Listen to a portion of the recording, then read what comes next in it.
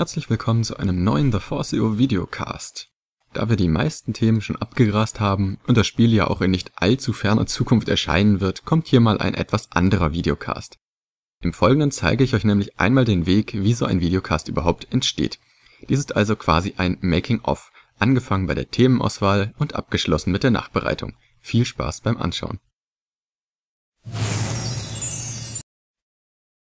Am Beginn jedes Videos steht die Frage, welches Thema soll ich überhaupt behandeln? Dies ist meist der schwierigste Teil, denn ohne Anfang kann man nicht loslegen, egal wie motiviert man eigentlich ist. Das heißt im Umkehrschluss aber nicht, dass alles von selbst läuft, wenn man erstmal ein Thema hat. Manchmal ist das schon der Fall, aber es gibt auch Videos, die sich partout weigern, fertig zu werden. Da muss man sich dann teilweise etwas durchquellen, um das Puzzle zu vervollständigen, aber irgendwo ist es ja ein schönes Gefühl, wenn es dann endlich fertig ist. Aber ich schweife ab. Ich wollte ja eigentlich etwas über die Themenauswahl erzählen, Manche Themen sind offensichtlich. Zum Beispiel war es bei SWTOR klar, dass man Videos zu den verschiedenen Klassen machen kann. Doch nach einiger Zeit geben einen immer mehr die Themen aus. Ab einem gewissen Zeitpunkt hat man einfach keine Themen mehr, die zum Konzept passen. Dann bleiben genau zwei Möglichkeiten. Entweder man gibt das Format auf und konzentriert sich auf ein neues, oder man gestaltet das ursprüngliche Format um und bringt es in anderer Form heraus. Was allerdings nicht sinnvoll ist, wäre eine künstliche Streckung der Videos, indem man irgendwelche Themen erfindet, die aber eigentlich gar nicht passen. Aber das ist ein anderes Thema.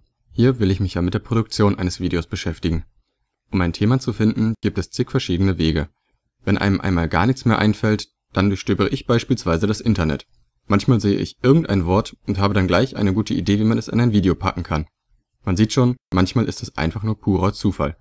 Man kann sich natürlich auch im Team besprechen, sofern man in einem ist, wie bei uns es der Fall ist.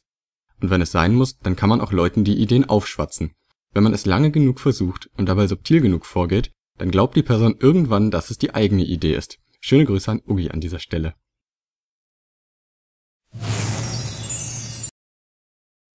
Ist dann einmal ein gutes Thema gefunden, dann geht es ans Recherchieren. Im Normalfall hat man zwar ein gewisses Grundwissen, aber das reicht bei weitem nicht aus für einen Videocast. Wir wollen schließlich qualitativ hochwertigen Content bieten. Und da gehört eine gute Wissensgrundlage zum Pflichtrepertoire. Also fängt man zuerst an, Google zu durchstöbern. Mittlerweile habe ich dort eine gewisse Routine entwickelt und brauche eigentlich nur noch wenige Sekunden, um den Inhalt einer Seite beurteilen zu können. Das ist ein wahrer Segen, denn es gibt so viele Seiten, die einfach nur Müll veröffentlichen. Oder eben geleakte Informationen. Es ist schwer zu sagen, was von beidem eigentlich schlimmer ist. Baut man Müll in seine Videos ein, wird man von der Community verbal geschreddert. Zu Recht übrigens. Nimmt man dagegen geleakte Informationen mit rein, gibt es eventuell Probleme mit BioWare. Das will man sich als offizielle Fansite auf gar keinen Fall zu Schulden kommen lassen. Daher ist es ein Muss, den Content vernünftig und sorgfältig zu filtern. Doch auch da bleibt noch ein ganzer Batzen an Text übrig, den man im nächsten Schritt zusammenfassen muss. Allerdings habe ich lieber eine große Menge an Text, denn da muss man sich nicht alles aus den Fingern saugen oder mit übermäßig vielen Spekulationen strecken. Das kommt immer dann dabei herum, wenn man sich ein Thema ausgesucht hat, bei dem es nur sehr wenige Informationen gibt. Doch auch mit wenig Informationen und wenig Text kann ein guter Videocast entstehen. Ist das Recherchieren abgeschlossen, geht es auch direkt weiter mit dem Schreiben des Textes. Klar kommen immer wieder Leute, die wollen, dass man alles ganz frei und spontan macht, doch das würde bei einem Format wie dem Videocast zu einer Katastrophe führen. Um das zu vermeiden, schreiben uns die Texte immer vor.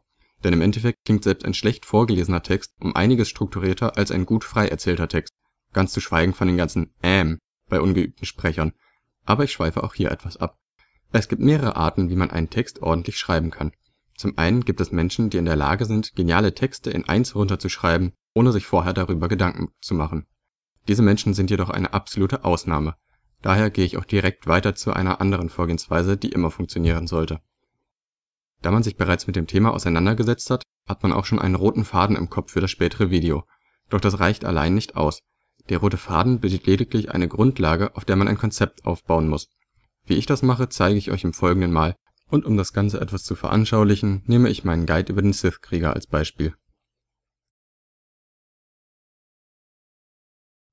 Jedes Video sollte mit einer kurzen Einleitung beginnen, wo man seine Zuschauer begrüßt und das Thema des Videos vorstellt. Danach folgt in diesem Fall eine Videosequenz, die den Krieger in Aktion zeigt, und zwar in einer möglichst actiongeladenen und packenden Szene, damit man direkt am Anfang einen Eyecatcher hat und die Leute auf die Klasse heiß macht. Anschließend gehe ich dazu über, einen kleinen Einblick in die Startgeschichte des Kriegers zu geben. Dadurch sieht man die Klasse schon mal in Aktion und kann sich ein gutes Bild über die Motivation eines Kriegers machen. Weiter geht es mit den allgemeinen Informationen. Wie spielt sich diese Klasse? Was zeichnet sie aus? Inwiefern unterscheidet sie sich von anderen und was hat sie mit denen gemeinsam? Welche Ressourcenmechanik wird verwendet? All das sind grundlegende Dinge, die man als Spieler gerne über eine Klasse erfahren möchte, und daher werden sie auch noch am Anfang des Videos erzählt. Denn so können Spieler schon an dieser Stelle entscheiden, ob diese Klasse etwas für sie ist oder eben nicht. Um eine so grundsätzliche Entscheidung zu treffen, muss man nicht erst in die tiefere Mechanik eintauchen, sondern es reicht an dieser Stelle einen groben Überblick zu geben. Für die, die sich für die Klasse interessieren, sind das aber noch viel zu wenig Informationen. Daher kommen als nächstes die erweiterten Klassen. Und auch hier geht man wieder vom Groben zum Feinen über. Zuerst Allgemeines zu den einzelnen erweiterten Klassen, hier über den Juggernaut und was sie auszeichnet. Im Beispiel wären das der Kampf mit einem Lichtschwert und einer schweren Rüstung. Dann taucht man tief in die Spielmechanik ein und erklärt die einzelnen Talentbäume. Dies sind schon sehr spezielle Informationen, die sich an Spieler richten, die die Klasse spielen wollen. Da aber nicht jeder einen Juggernaut spielen will, muss man sich etwas überlegen, damit sich die anderen Zuschauer nicht langweilen. Das ist wichtig. Bietet immer so vielen eurer Zuschauer wie möglich abwechslungsreichen und interessanten Content. Ein Zuschauer, der sich langweilt, schaltet weg und der Rest eurer Arbeit war umsonst. Es kann sogar passieren, dass sich diese Person dann auch die nächsten Videos nicht mehr anschaut und das gilt es definitiv zu vermeiden.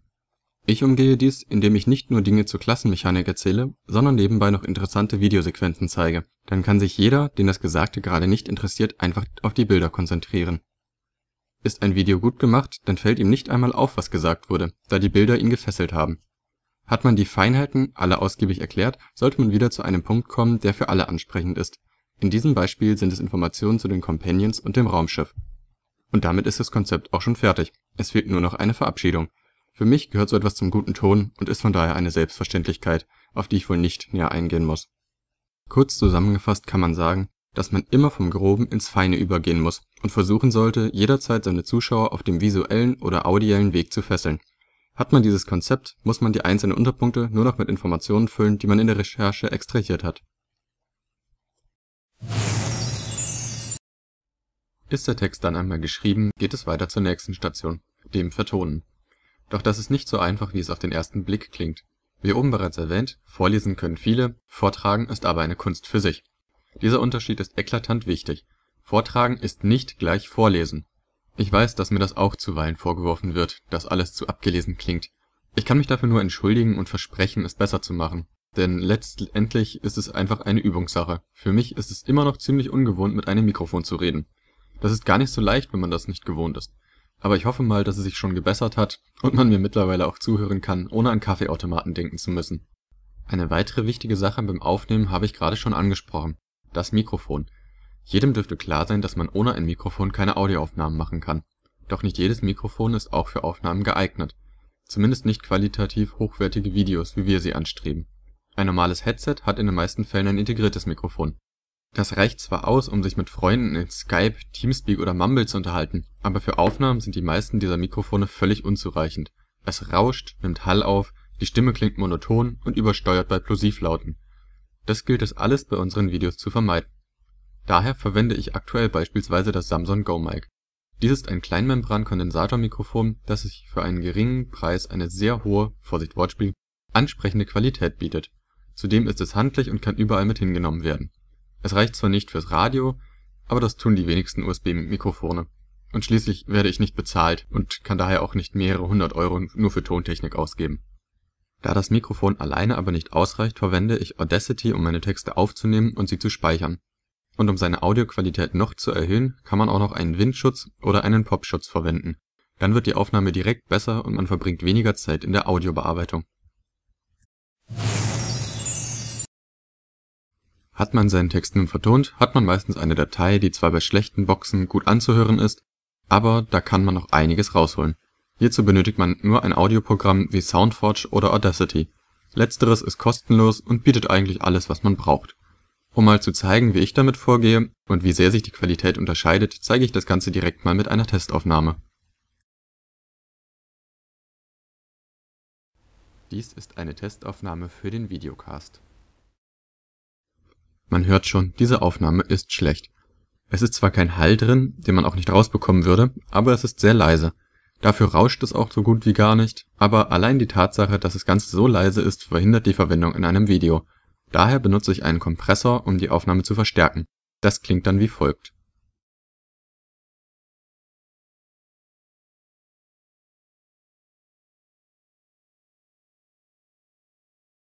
Dies ist eine Testaufnahme für den Videocast.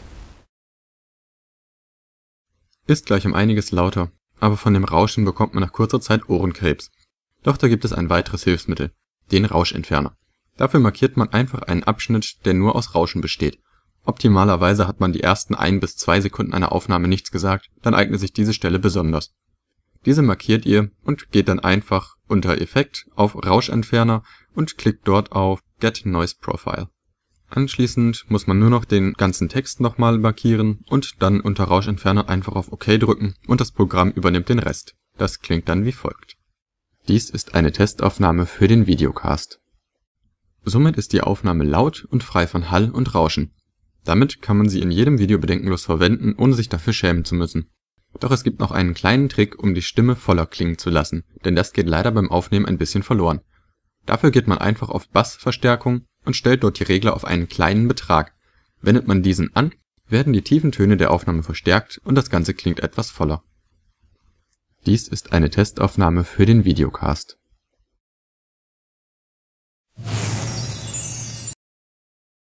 Hat man den Audiokram dann fertiggestellt, geht es weiter mit dem nächsten Schritt, dem Schneiden des Videos. Sinnvollerweise hat man schon in der Recherche Material dafür gesammelt, ansonsten muss man es spätestens in diesem Schritt doch tun. Denn wer will schon ein schwarzes Bild anschauen? Doch Material ist noch lange nicht alles. Das Wichtigste ist ein gutes Programm zur Videobearbeitung. Windows Movie Maker ist dafür beispielsweise, um es vorsichtig auszudrücken, vollkommen ungeeignet. Da könnt ihr euer Video auch gleich in eine Mülltonne werfen. Mir persönlich sind zwei gute, halbwegs bezahlbare Programme bekannt, die man dafür nutzen kann. Zum einen wäre da Magix und zum anderen Sony Vegas. Ich habe beide in der Testversion ausprobieren können und mir gefiel Sony Vegas besser. Magix ist definitiv kein schlechtes Programm, doch ich möchte hier nicht die Vorteile gegeneinander abwägen. Für alle, die hier nun einen ausführlichen Guide mit Profi-Tipps erwarten, die muss ich enttäuschen. Ich werde hier nur ein paar elementare Dinge ansprechen, mit denen man ein Video produzieren kann. Wer mehr möchte, sollte sich ja besser andere Tutorien ansehen oder durchlesen. Doch gehen wir einfach mal direkt in das Programm. Hier sieht man zunächst eine Audio- und eine Videospur. Mithilfe des Scrollrades der Maus kann man hinein und herauszoomen. Oben in der Mitte ist das Feld, wo man seine Daten hereinziehen kann. Darunter sind verschiedene Reiter, auf die ich gleich noch eingehe. Rechts oben ist ein Bildschirm für eine Vorschau des Videos. Soweit zum Aufbau. Es gibt natürlich auch noch Dutzende andere Einstellungsmöglichkeiten. Wenn ich allerdings auf diese eingehen würde, sitzen wir hier morgen noch. Das einfachste wird sein, wenn ich das alles Wichtige an einem Beispiel erkläre. Daher nehmen wir mal die Testaufnahme von eben und zwei Bilder aus SWTOR. Zunächst legt man die Dateien oben ab. Hier werden alle Materialien gespeichert und können von hier aus auch in das Video eingebaut werden. Will man nun eines davon verwenden, muss man es nur unten in die Videospur ziehen. Falls gerade keine da ist, kann man per Rechtsklick eine neue erstellen. Das Bild kann man nun nach links oder rechts ziehen, damit es eine längere oder kürzere Zeit im Video zu sehen ist. Man kann es auch teilen, indem man S drückt. Das macht bei einem statischen Bild natürlich nur wenig Sinn, aber bei Videos kommt es sehr häufig vor, dass man diese erst in Einzelteile zerschneiden muss. Theoretisch ist das Video an dieser Stelle schon fertig, aber es wäre ein ziemlich langweiliges Video. Und sogar schlecht anzusehen, denn so wie es jetzt ist, sind dort sehr harte Übergänge. Das ist unangenehm anzuschauen. Daher sollte man versuchen, Übergänge zu schaffen. Das ist hier sogar sehr einfach. Eben habe ich schon gezeigt, wie man Material in die Länge zieht. Nun geht man mit der Maus an ungefähr dieselbe Stelle und fährt dann ein Stück höher an die obere äußere Ecke. Da erscheint ein anderes Symbol, mit dessen Hilfe man einen einfachen Übergang schaffen kann. Man muss lediglich den Cursor ein Stück in das Material hineinziehen. Bei Audiospuren funktioniert das übrigens genauso. Wenn man jedoch einen etwas aufwendigeren Übergang haben möchte, kann man auch auf diesen Reiter klicken und einen x-beliebigen Übergang auswählen und an die entsprechende Stelle ziehen. Videos, die nur aus einer Spur bestehen, kann man natürlich auch machen.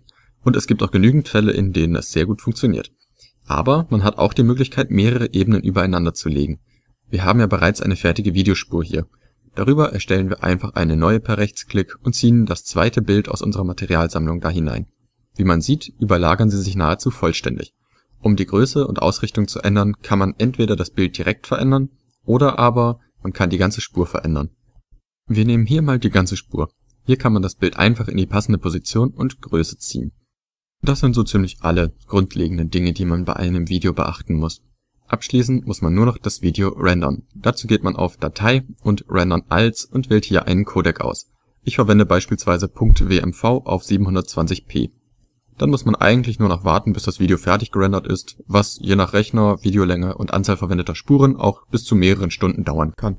Und schon habt ihr euer Video erstellt.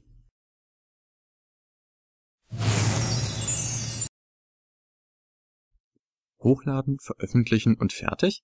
Nein, falsch gedacht. Denn selbst nach der Veröffentlichung eines Videos ist die Arbeit noch lange nicht beendet. Jetzt gilt es, die Kommentare zu verfolgen und gegebenenfalls auch zu beantworten. Dort wird man meistens schon auf kleine Fehler hingewiesen, die man selbst gar nicht wahrgenommen hat. Es bleibt leider nicht aus, dass man irgendwann betriebsblind wird, und da ist eine aufmerksame Community wirklich Gold wert.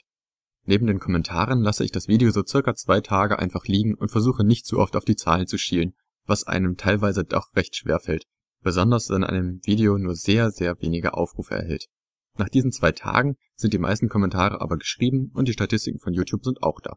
Dann geht es ans Auswerten und an die kritische Nachbetrachtung. Was war gut, was war schlecht und was sollte ich vor allem besser machen? Denn seien wir mal ehrlich, keiner von uns ist perfekt. Wir alle machen Fehler oder stellen falsche Spekulationen an. Sowas passiert schnell mal. Doch wenn man sich mit jedem Video nochmal auseinandersetzt, fallen einem immer wieder ein paar Kleinigkeiten auf, die man gerne verbessern würde. Diese Ideen zur Verbesserung nimmt man dann einfach in ein neues Video mit und achtet meistens besonders drauf, sodass die Videos theoretisch immer ein Stück besser werden müssten. Dass das in der Praxis natürlich nicht immer der Fall sein kann, dürfte hierbei wohl klar auf der Hand liegen. Doch zumindest kann man dabei einfache Fehler immer besser vermeiden. Damit bin ich auch schon am Ende dieses Making-ofs.